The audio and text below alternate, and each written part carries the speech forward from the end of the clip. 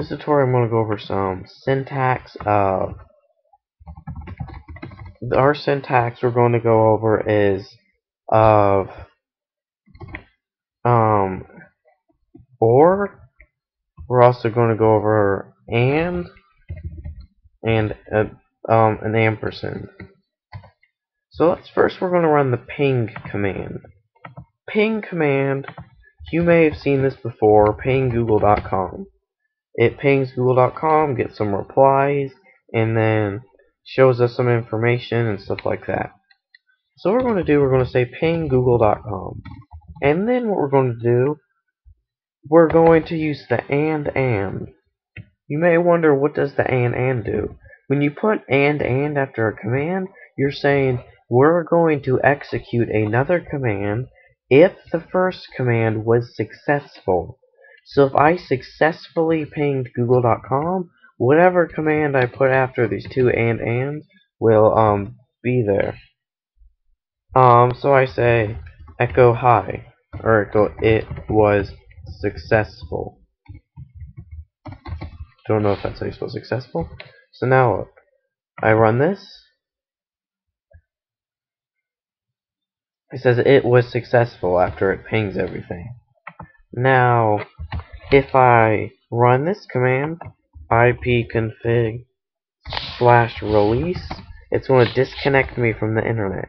And how can it possibly ping google.com if it's not connected to the internet? So what's going to happen is it's going to say ping request cannot find host, blah blah blah, and it's not going to execute this echo it was successful command. That's not going to happen because it wasn't successful. But let's show me let me show you or double like that. That's an or. So when I run or it's going to say it was successful because what or does or says run this one or this one. It says if this one is not successful, then run the second command. But if it is successful, it won't, won't run the second command.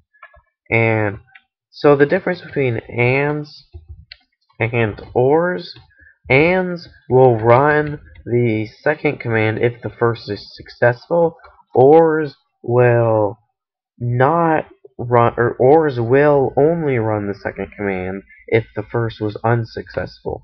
Now you also have a single and.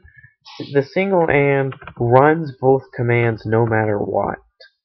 So no matter what, whether successful or not, the single ampersand will run both of them no matter what. And you can do more than just one. I can say like echo hi and whoops and echo Bob and echo toast.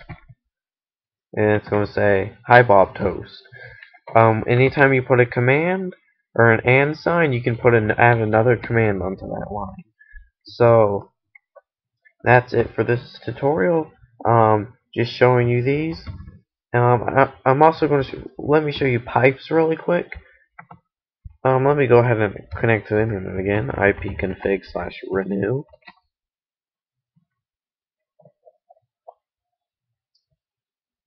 CD desk, or I'm on my desktop.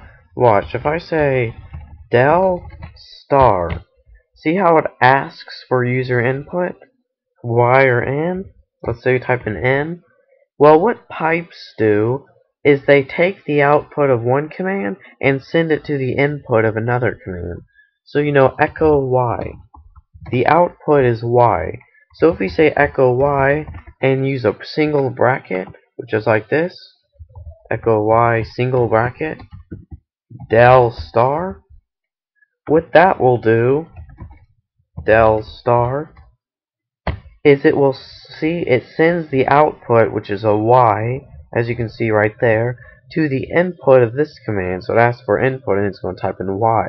And so that kind of force deletes everything. I can just save my file and get it back. But this one also shows it. See that one deleted everything? Force deleted it all. Now, Another, uh, one way this is used a lot is let's say find or let's type The type command lists all the text in the file. See type hello.bat. Now do you also have a find command. And you say like find Bob. And now it's going to let me type in a whole bunch of strings. And if any of them contains Bob, it's going to send the string back to me. So what you can do, you could type hello.bat. The output of this command is the text of my file, and pipe it to the input of find, find app. And as you can see, it'll only list the line that says app, which is title app, or I can say, let's say, SE.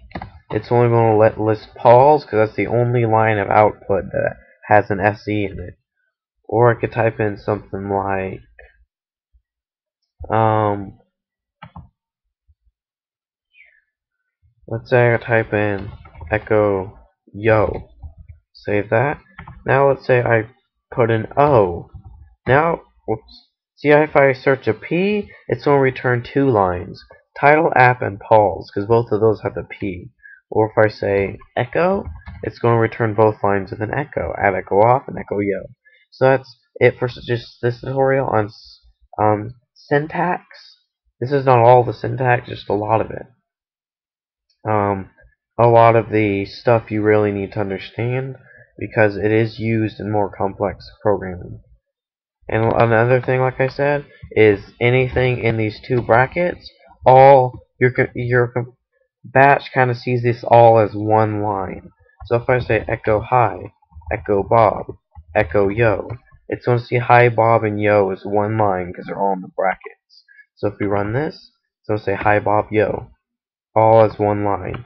Now if I run it in here, see if you type in the name of your file in the console or run it in the console. Hi Bob yo. And that's it for this tutorial. Um, this just showed you, you know, brackets, these, sync, um, ors, pipes, ands, and little those. And that's just it for this tutorial.